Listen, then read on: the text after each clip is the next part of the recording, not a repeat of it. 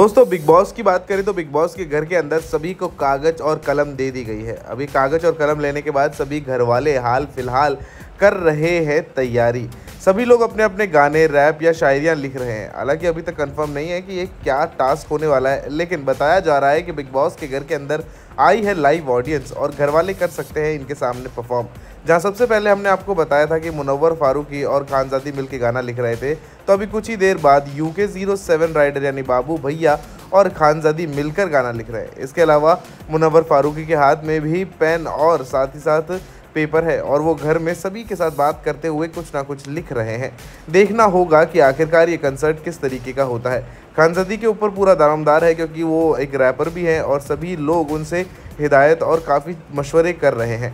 देखना होगा कि आखिरकार ये टास्क किसका है। क्योंकि घर के अंदर अभी तक एक बार भी कोई कैप्टन नहीं बनाया तो हो सकता है कोई कैप्टनसी का कार्य हो और घर के अंदर कोई नई लोकेशन को भी अनलॉक किया जाए।